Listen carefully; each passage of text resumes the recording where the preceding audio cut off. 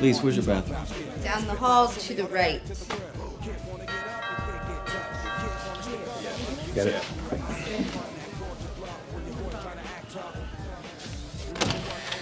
Abel, Chris, hey. welcome. Nice jacket. Yeah, I like it. Mr. Turner, I'm Lisa, Chris's wife. Abel, please. Where are your kids? They could not come. I'll take a drink though. Okay. Right this way. What are you having? Anything wet. Well, we have a lot of that. Wet and cold. Okay. Chris, you hit the total jackpot, man. I so want to date a black girl. I'm working my way up, though, doing the Pacific Rim thing right now. If you get what I mean. Good luck with that.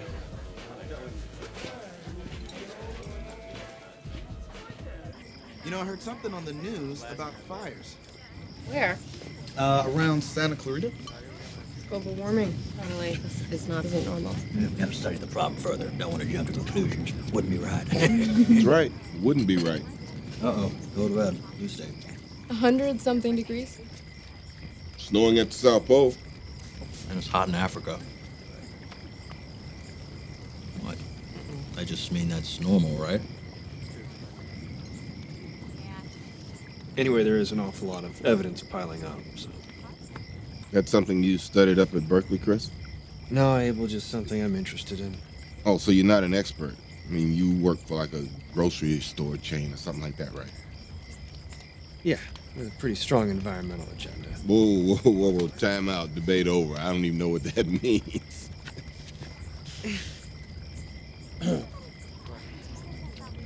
Well, what do you do, Abel? I am a police officer. Yes, sir. Chris. Hide the pod. Not the part I'm worried about. It's those cigarette butts he keeps flicking over the fence so the wife won't see him. Dude, you're so busted. Really? Uh, uh, where do you patrol, Abel? I'm assigned to the Valley Bureau of the LAPD over near Panorama City. You know where that is? Uh, yes, I think. Been there? Never been. Come on down. We'll show you some things. Like how to be an ass? I'm sorry, is that something you want to say? No. You seem to have an opinion about law enforcement. I'd like to hear it. Uh, let's talk about something Oh, else. no, no, no. We could talk about something else, but I think your friends want to talk about this. I just find that there's an attitude. Mm-hmm. You know, a kind of um, uh, aggressiveness when you deal with them, which I can certainly understand. I'm sorry, Miss um Eden. Eden.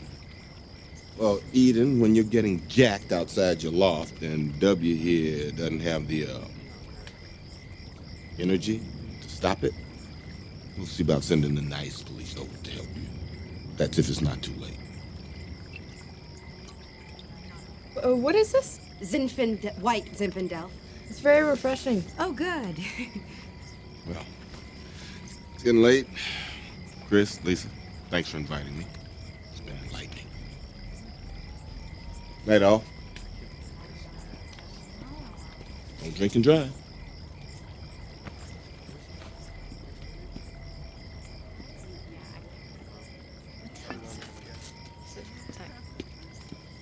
Yeah, let's go. That's fresh dill. Abel, hold on. Look, cigarettes, I'm sorry. I, I wasn't thinking. I, I apologize. But in front of my wife? that's, that's, uh, that's really not cool. You didn't like that. No, I didn't. And whatever it is about me or us that bothers you, we gotta figure out a way to deal with this, all right? So, what do you propose? What? What's your agenda? My agenda is. Can we all just get along? Oh, not Rodney King. You playing the race card? Come on, man. This is getting a little out of hand. I mean, I need you to back off. Back off. Yeah, a little. Or what? See, you keep saying stuff like that, like we're, we're not welcome here, we should move. But we're fitting in just fine. Says who? Maybe you're the one with the problem. I don't smoke. You know what? I said I was sorry. Just stay out of my life. Stay out of your life.